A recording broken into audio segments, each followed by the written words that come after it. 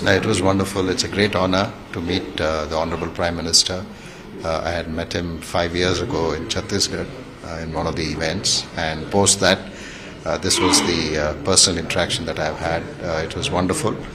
So he said, uh, "We've got cheetahs now. You should come, come and take pictures, uh, photographs of the cheetah." So, when I was part of the uh, wildlife board here in Karnataka, I had gone to request the then chief minister. He was the chief minister of Gujarat at that time, and I told him that the lions uh, that he gave us uh, to Mysore Zoo, uh, one of the lions is still doing well, and it, uh, the the pair littered, and and we have a few lions now uh, in the zoo thanks to him, and it was wonderful to interact.